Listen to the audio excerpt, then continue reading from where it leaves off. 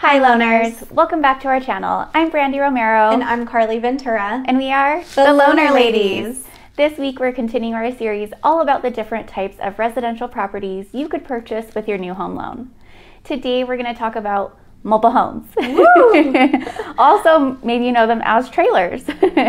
While they're often associated with lower quality of housing, mobile homes can be a great option for many people looking for affordable, customizable homes. That's very true. But the first thing that we want to touch on is that the loaner ladies, we do not lend on mobile homes. However, we do get asked a lot of questions about them, and so we wanted to briefly explain what they are and why they are different from manufactured homes, which we had touched on last week.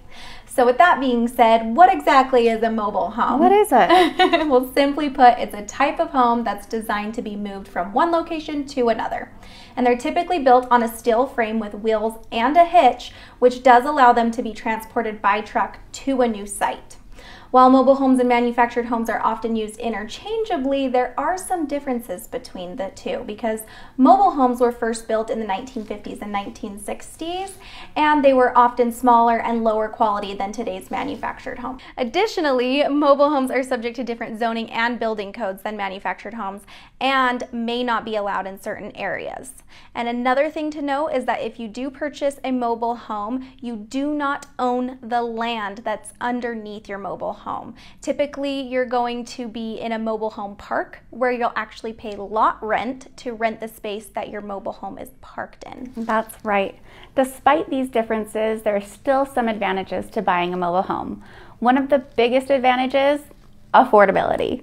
Yeah. because they're typically smaller and less expensive to build than a traditional site built home, mobile homes can be a great option for those on a tight budget. Yeah. Additionally, because they're designed to be moved, mobile homes can be a good option for those who want to travel or live in multiple locations.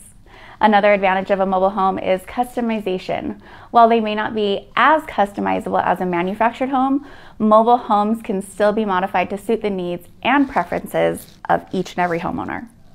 This can include anything and everything from adding an extra room to upgrading the finishes and appliances. Very true. And even though the loaner ladies do not do financing on these homes, we do have some trusted partners in the industry who do and would love to put you in contact with them. So please feel free to reach out to the loaner ladies if you're looking to purchase a mobile home. And with all that being said, that's going to be a wrap on this week's episode on mobile homes. Thank you so much for watching and stay tuned for next week's episode where we're going to start our new series Ooh. all about refinancing. So stay tuned for that. And as always, make sure that you like, comment, and subscribe to our Facebook, Instagram, and YouTube channels so you don't miss out on any Loaner Ladies episodes or any current market updates. And with that, see you later, loaners.